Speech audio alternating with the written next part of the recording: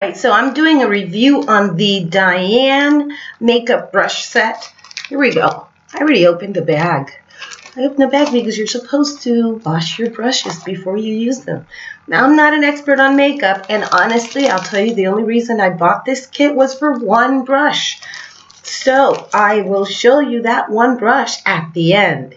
But in the meantime, here you go. These are really pretty. Yeah, they're pretty. I always ask, you know, why am I so interested in the pretty first? Well, because I like pretty. It makes me happy.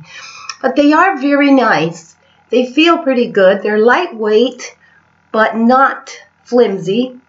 And the brushes are really, really soft. So these are really soft. I'm not a makeup artist.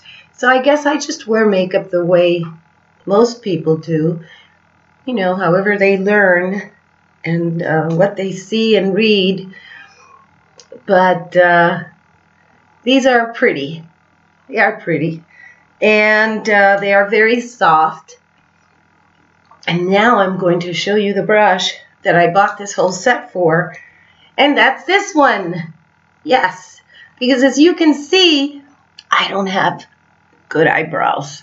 So that's why I bought this one, so that I could do like they do in the videos you know how they go like that and then they fill in the eyebrows? I don't know if I'm going to do that. But the problem is that my old kit, which is just this, became very frayed over years. Yes, it lasted me that long. That just goes to show how much makeup I wear. So you see, it just got all squashed. And um, I still have the powder so I said, well, let me get a new one. Now that one is nice and firm. The problem is this one is a little too soft. So I don't know if it'll be good for that. But that's the review. If you're looking for soft brushes, these are it. These are soft.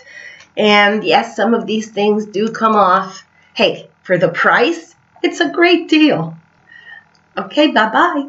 Oh, leave me some comments. I love getting comments. I always respond. Bye-bye.